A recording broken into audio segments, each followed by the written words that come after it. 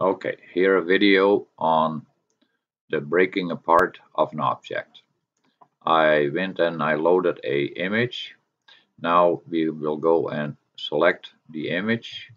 Now we will go and path trace bitmap and then we can set our settings to our liking that we see in the preview window if we want to have can maximize it. Now we can see if the lines are all connecting or not connecting. And once we are satisfied with the result we click OK. Then we go back to our image.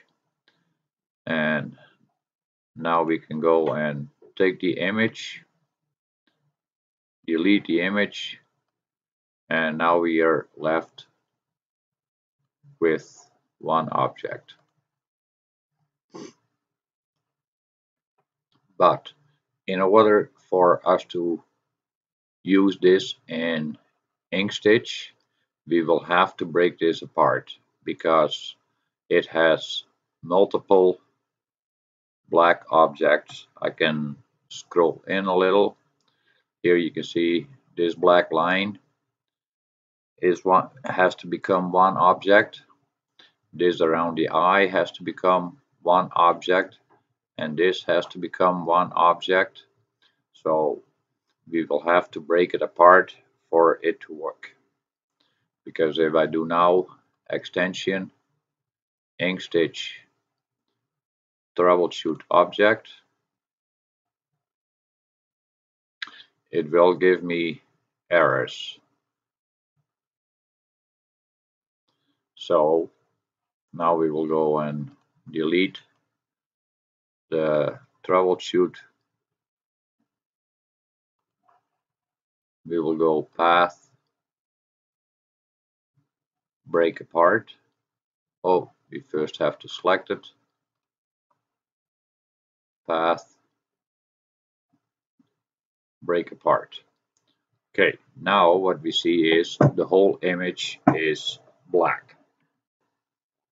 It can be fixed this way, but that takes a fair bit of work. There is an easier way that you get right away better results. And here on the bottom you can see there are at this moment 33 objects.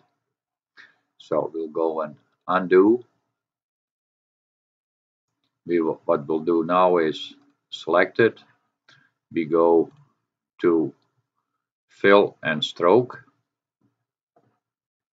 And in the fill and stroke, there are these two icons here at the right hand side. What you want to do is select the second last icon and then go Inkstitch fill tools, break apart, fill objects. Then you can go simple, you go and apply, and then it will run. And then once that box disappears, then you can just close that window. And now in the oh in the Objects panel.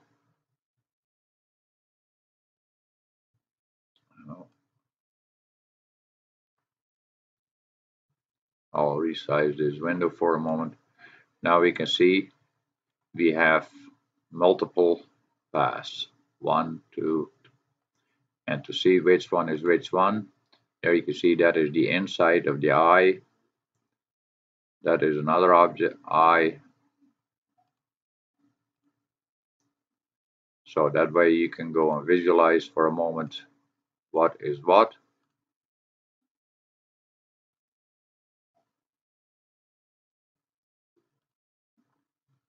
Now these are all connected paths.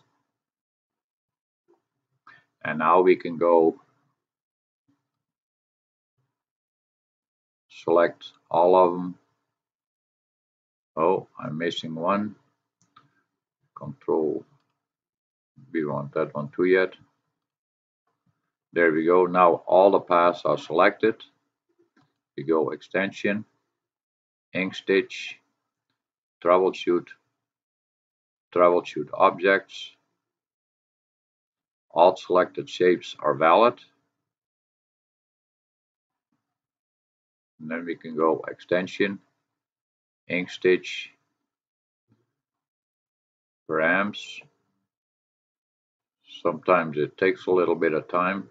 It uh, that will depend on also how large your your file is.